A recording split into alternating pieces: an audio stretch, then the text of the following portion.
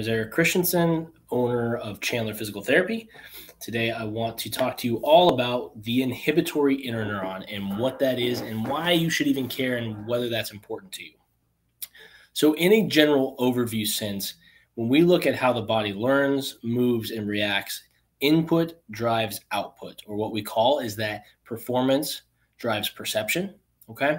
So anytime we get a cue from our external environment, whether that's touch, smell, taste, anything like that, it drives an output. It drives a signal to the brain and it drives a signal to the body to create a certain reaction. And when we're looking at, especially in physical therapy, the pain response, you have input, whether that's externally inflicted, like a car accident, or internally, like a muscle strain and maybe a movement pattern that leads to uh, an input, which is pain.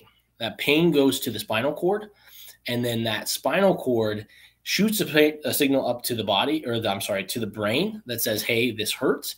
And in turn at reflex level it hits a motor neuron and creates a motor response which is usually to pull you away from that pain to tense up to try and protect yourself against that pain.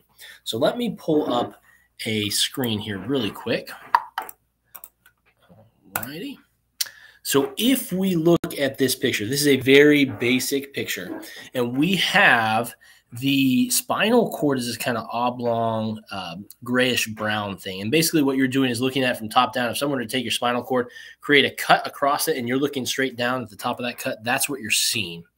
And basically, here is what we call your sensory neuron. Um, as it comes in, that is your input we have this interneuron, this kind of brownish one, and then we have our motor neuron, which is our output.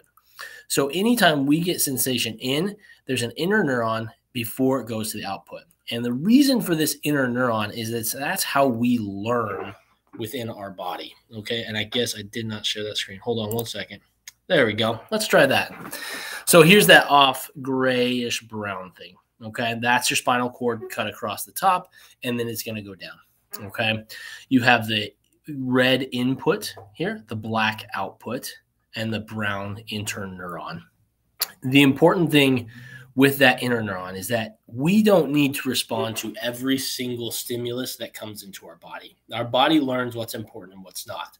An example of that is say you're working and somebody outside your window starts a jackhammer initially that stimulus is very irritating, but the longer it goes on, your body learns that it's not important and it'll start blocking out. Pretty soon you don't even notice it's there until it stops. And it's the absence, that change in stimulus that creates the awareness again.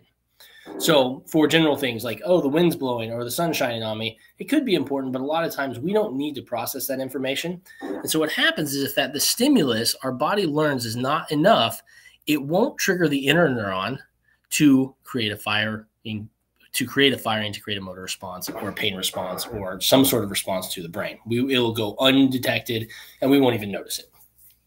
When it comes to pain, we can utilize that inhibitory interneuron to our advantage. And what we can do is, as physical therapists, we can introduce certain levels of stimulus to stimulate the body in a new or novel approach, but not enough to stimulate that interneuron.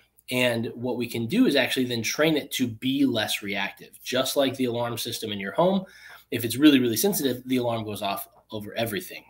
However, if we can train it, then we can say, okay, at this threshold, it should go off and this is appropriate. At this threshold, that is inappropriate to go off and we shouldn't fire. And we could do that through repetitive stimulation, through repeated exposure to activities. Dry needling can do that. It's all a new input into the system to create a new output to learn from. And that's 90% of what physical therapy is in my world is basically taking someone who is injured and maybe that nervous system is hypersensitive um, to change, creating a change that allows them to reestablish a threshold, to utilize that inhibitory interneuron to not fire, to not trigger response. And therefore, we get less pain, we get less muscle guarding, we get less altered movement patterns as a result, and we get back to life in general. So, obviously, if you guys have any questions, we would love to answer. Um, as you probably well know, we do have free discovery visits. Um, the numbers down here. If you want to give us a call, we can set it up. That's a half hour one on one of just chatting with a physical therapist to say, hey, is this the place for me? If so, how are you going to help me? And if we aren't the people to do it, we can definitely get you hooked up with the people who we can get you going down the right path to, to healing. Um, if you have any other questions, you can always connect with us on social media. We're at Chandler Physical Therapy pretty much everywhere. And I look forward to catching you guys on the next round.